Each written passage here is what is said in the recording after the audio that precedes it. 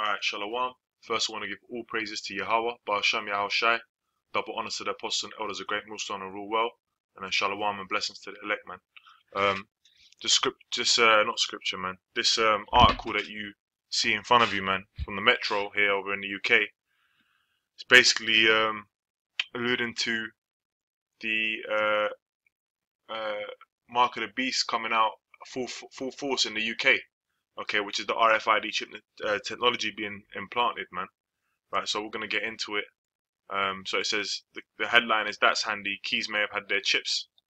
Okay, no more fumbling for keys. Stephen Northam can unlock doors and start his car with a simple wave of his hand, which is you know what the the ease of access uh, that they're pushing um, in their agenda to push this uh, mark of the beast, man. The inventor has a microchip the size of a grain of rice implanted between his thumb and finger. It unlocks his home and office, and his BMW ZW's w, uh, Z4 starts when his hand is on the wheel. Mr. Northam, a father of one from Otterbourne, Hampshire, believes it will be a commonplace in 20 years. Which, you know, it's bullshit because Kingdom ain't gonna be here. Like, we ain't gonna be here that long, man. This, it's gonna, this thing's gonna move quick. It's already been been moving quick, man, with World War Three, uh, martial law, so on and so forth. His company BioTeq is the first in the UK to offer human implantable technology right? You know, that's a claim they made. So he has teamed up with consultant anesthetist Dr. Jeff Watson to ensure the implant is medically safe. The chip and a 30 second procedure cost between 230 basically uh, and 300 pounds to adapt door and car locks. Mr. Northam said he has about 30 people, including companies, including whole companies, sign up for implants, but that does not include his teacher wife Becky, who is scared of needles. So the 33 year old believes the chip could eventually be used for retail payments. It's a key bit there. And as you know, if I, if I, before I continue reading, let me get the scripture, man. Right, this is Revelation chapter 13, verse 16. And, you know what? Just want to say here, the apostles and elders of Great Millstone have been pushing that RFID chip technology being implanted into into into humans is the microchip, the the mark of the beast that the scriptures talk about, man. That we're going to go into, man. Right. It's Revelation chapter 13, verse 16. And he calls of all, both small and great, rich and poor, free and bond.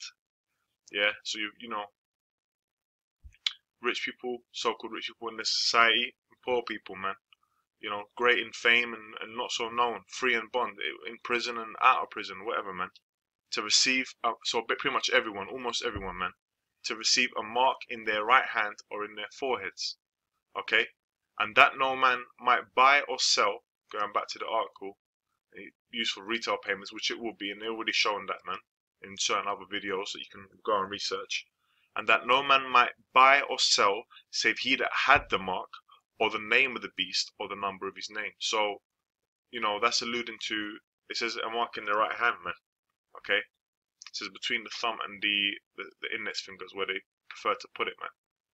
And he goes, and as a boon for seriously ill patients or those with dementia by containing medical notes. He said skeptics think it could be used to track them, adding there are those who think it's brilliant and those who think it's the government taking control. Well, that's what it is, man. It is it is control, man. Because what does Esau want? Esau wants he wants to be bowed down to, and he wants all everyone under under him as uh, as slaves, man. Okay, for eternity. But uh, the law's gonna upset him, man. Uh, pursuing to um, Job, man uh, when he's about to fill his belly. Uh, and he is about to fill his belly. It's in Job. If you can get that. That's right, Job 20. Verse, uh, Job 20, verse 23. When he is about to fill his belly, God shall cast the fury of his wrath upon him, and shall rain it upon him while he is eating. So you know when you're coming to the end of your meal, and you you know you're about to get that last little piece to, to satisfy your stomach, and that's where the so-called white man's sitting at the moment, man. Esau, man as he's known in the scriptures, man. His true biblical nationality, man. His true nationality. He's gonna when he's about to when these elites are about to fill their belly, when they're about to consolidate all their power into the into the new world order. And the Lord ain't having that, man. The Lord's gonna come back, deliver his elect, and take this kingdom down. Okay? So, you know, I just wanted to bring that out there that this chip is being pushed heavy over there in the States and over here in the UK. So this thing's moving, man. Apostle Gabar made a video titled um, that 2008 might be the year that this chip is basically, you know, pushed like that, man. The judgment, man. You know, so I can't remember exactly. I'm just paraphrasing, but hey, that's what it is, man. So we're coming into heavy times.